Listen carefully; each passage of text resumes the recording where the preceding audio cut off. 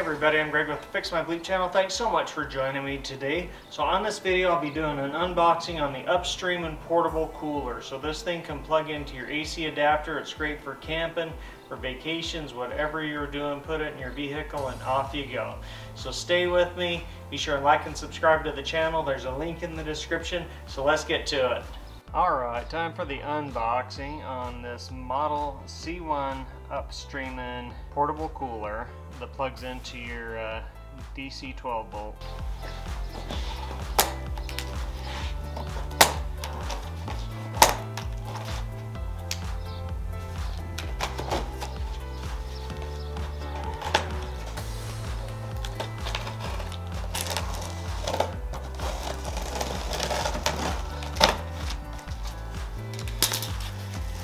There's a link in the description where you can buy this, so be sure and check that out. Also be sure and like and subscribe to the channel.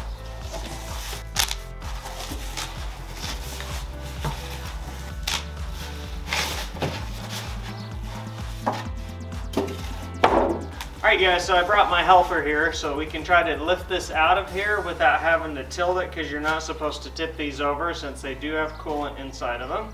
So let's see if we can get this out. Can you say hi, Miss Emma? All right, let's try this.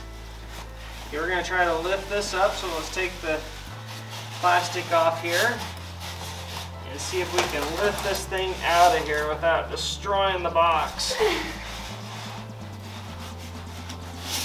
A little bit heavy,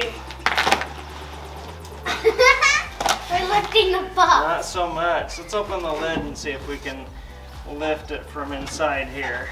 Hmm, Maybe we need to try getting these out first. That's a good idea. Let's lift out the styrofoam. Miss Emma has a really good idea. Let's take out all the styrofoam. And then maybe we can move it around. As that, it'll pop out. But the styrofoam's the ones that are keeping it. And the styrofoam's just at the... And now let's try opening it again and lift it straight out. Oh, look at that. Let's set it right down here.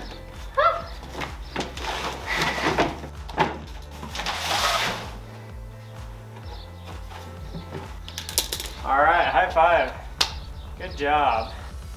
So a quick note on this Upstreman unit, they do want to make sure that you've got it sitting upright uh, at least six hours before you do attempt to plug it in and use the unit. That's probably because of the coolant inside. Alright, so one other difference between this cooler, the Upstreman, and some of the other coolers that I looked at online, this one actually came with wheels, where a lot of the other coolers that uh, plug into your AC adapter do not have wheels available. So that was one of the other major differences.